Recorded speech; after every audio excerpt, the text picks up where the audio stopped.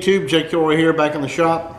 Uh, we're going to put the finishing touches on the drill press vise uh, by installing the torque arm.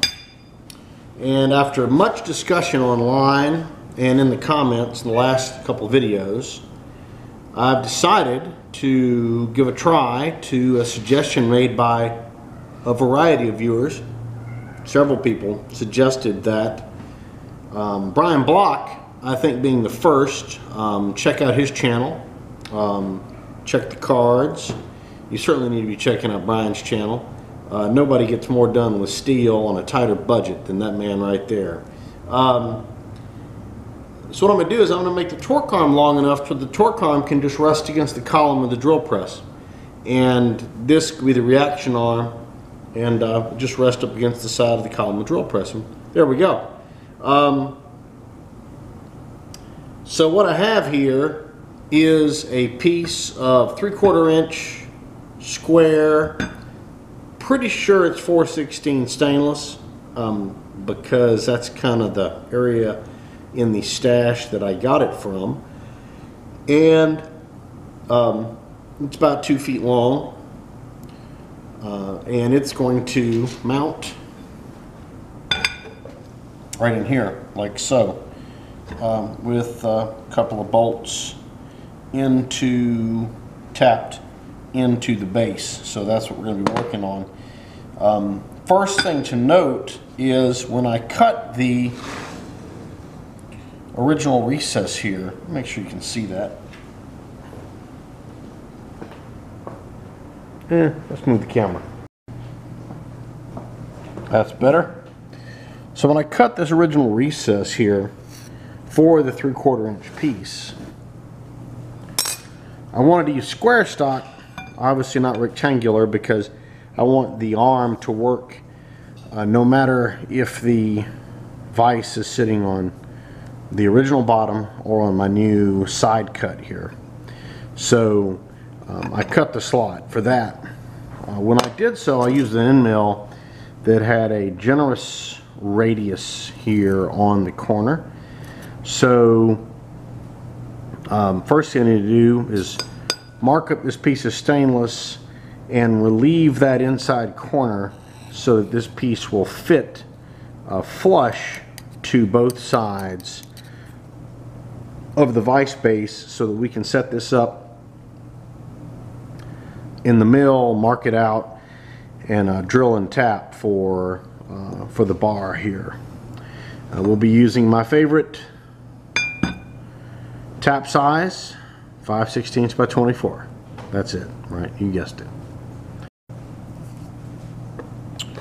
Alrighty, let's go ahead and just mock this up.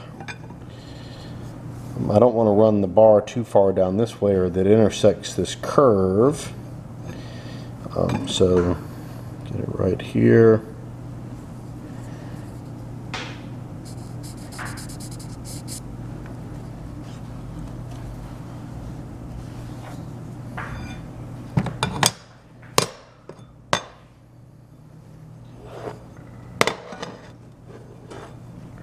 So I'm just going to take a file,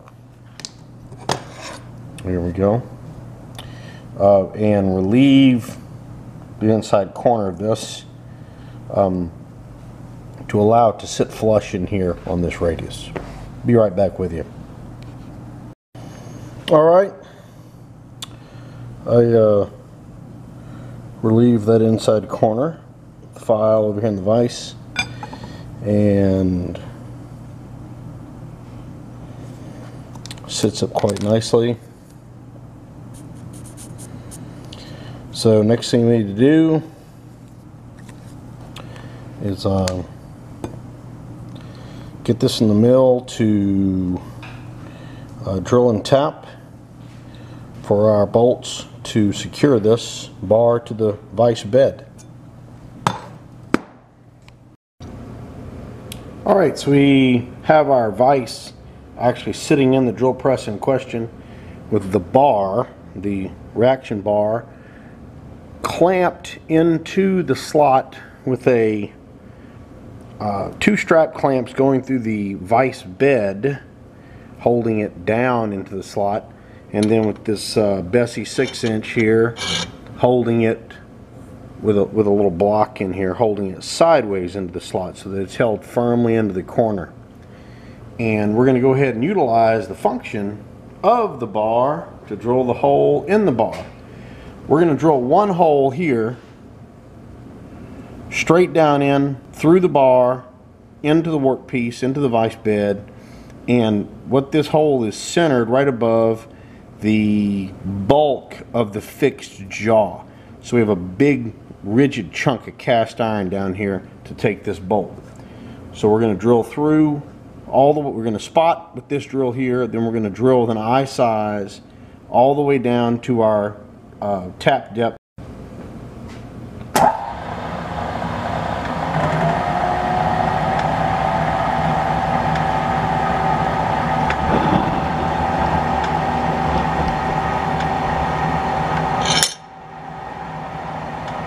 I just realized that the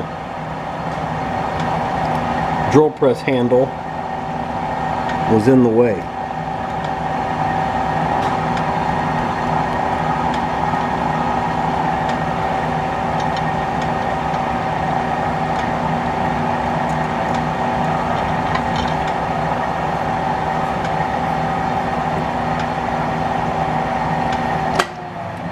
All right, we got a spot. Let's put an I size in here and drill this baby out.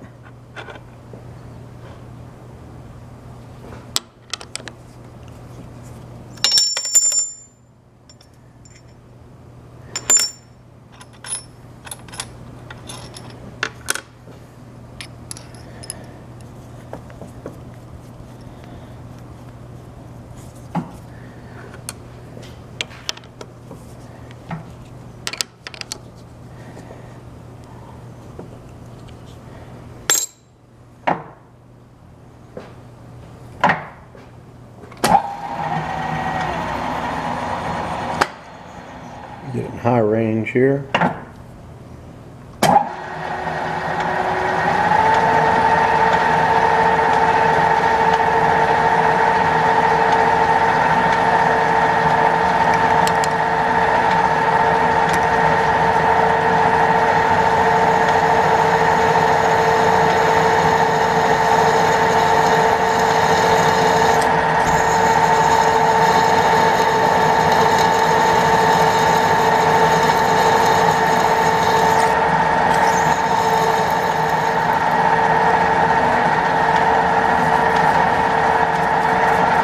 This first three quarters of an inch is 416 stainless. So make sure you keep good feed pressure up so you don't work hard the material. It's not 316 but it's not mild steel either.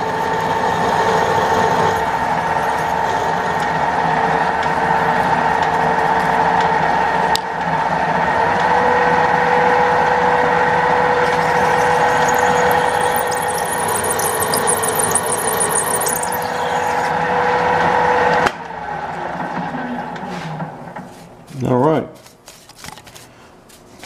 There we go. Now we need to countersink.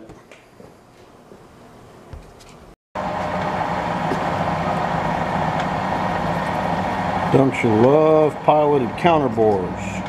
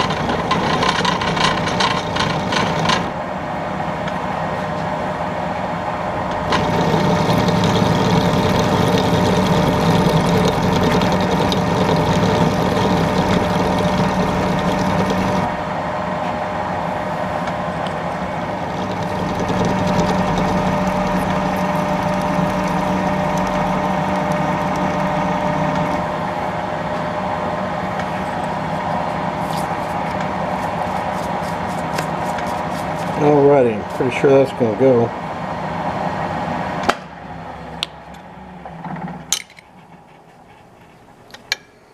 Ah.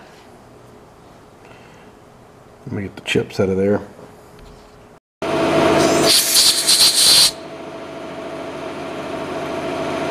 Uh, not quite.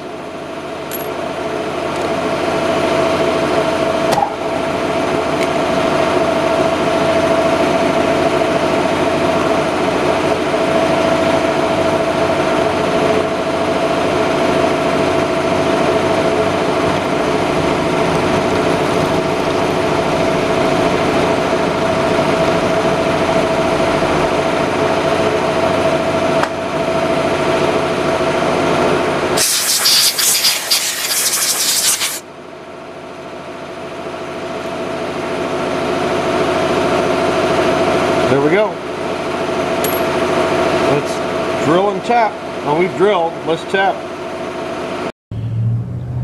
Just about forgot to drill a clearance hole through the bar here. That would have been a disaster.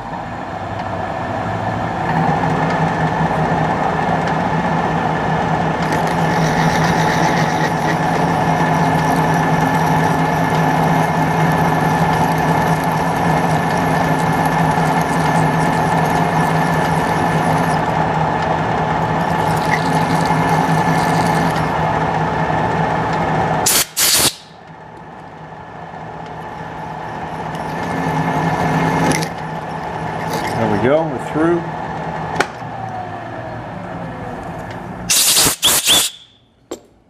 That's always loud. Now we can tap.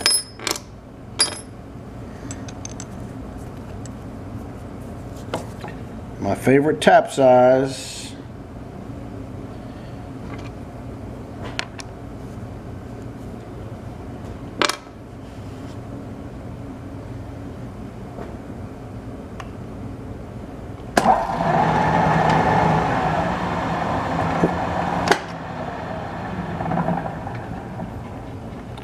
So this is the first run of the tap cycle that I've ever used here.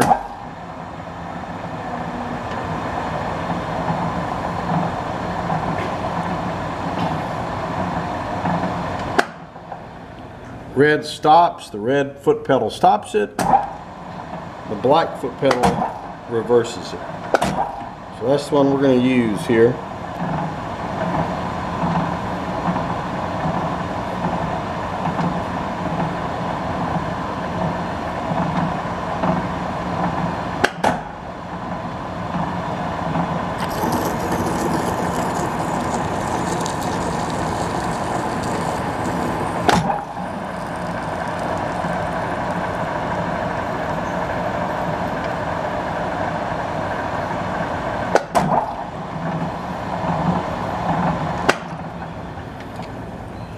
There we go. All right. We got a bolt down through this way. I just finished up the tapping with the hand tap here and uh, blew all the chips out. And um, got that in there. And uh, now I'm trying to decide if I should put a couple bolts in this way. Um, or if one more bolt in this way into the bed would be sufficient. I'm pretty sure one more bolt into the bed would be sufficient, but I don't really have a real good spot. The material back here is very thin, less than an eighth of an inch. And the material up here is, well, it's about an inch thick here. I could put I could get a nice tap basically right underneath the strap clamp. And um, that would that would hold give me a, a good hold to the bar. So I think that's what I'm gonna do. I'll go ahead since I have this bolt in I'll go ahead and get the strap clamp off. Where's my wrench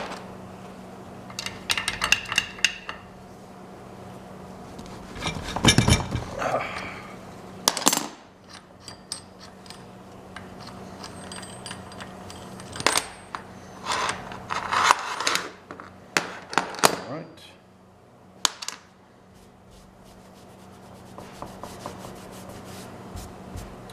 So I'm gonna go ahead and mark off here, down towards the end, repeat the process, uh, drill, countersink, tap, and uh, get another bolt in here, and then we'll be done with this, this segment. So uh, I'm not gonna show you all that again. I'm not gonna, not gonna be repetitious, so I'll be right back with you.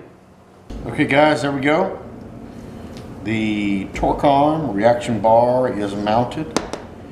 We got our two 5 16 by 24 socketed cap screws uh, in place, which roll this over. They go into this meaty section right here. It's all greasy. They go into this meaty section of the vise here. One bolt comes up into here and another bolt into the bed. So it's, it's well secured. Um, it's not going anywhere. I'm gonna go ahead and move this back over to the drill press and we're gonna give her a test run. So let's get with it. Okay fellows, we're back at the drill press. We've got the vise up here on the table. Um, it's reasonably sized vise for a, a machine of this uh, capability, I guess you could say.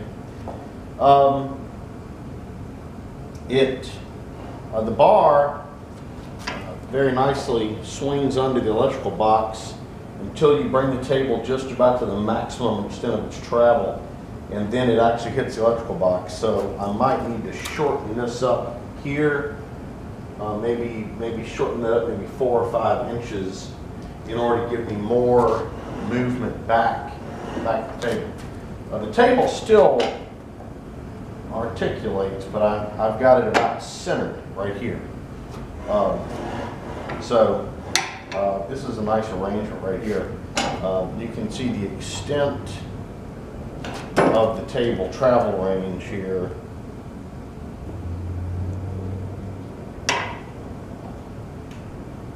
So it travels a pretty good bit. But anyway, there we go. Uh, there the vise is. And then if we kick it up on the side,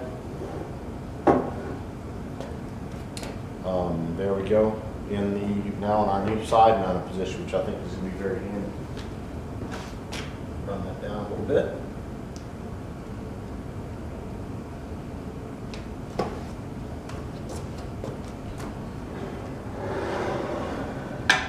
There you go. Um, I think that'll work real well. So, uh, project complete as far as the vise goes. I don't think I'm gonna do any additional work uh, on the drill press vise. So this is that. This is the extent of the drill press project. Next up on the um, Alzmetall is to build a new stop rod depth stop. Um, there was one here at one time. Uh, I have dug profusely around the net to find pictures of a similar machine, similar vintage Alzmetall AB4, which is what this is, model SV, and found pictures of the um, stop rod that was here. The stop rod interfaces with the um, tapping cycle as well, so it'll automatically, you can set a stop, it'll automatically stop and reverse the tapping cycle, which can come in really handy in a repetitive tapping operation. So that's something we're going to get to real soon like. So uh, anyway, that's it for the Alzmetall Drill Press Vise. Please comment, like, and subscribe, or tear me a new one if you wish. Be safe in the shop. I'll be back with you soon.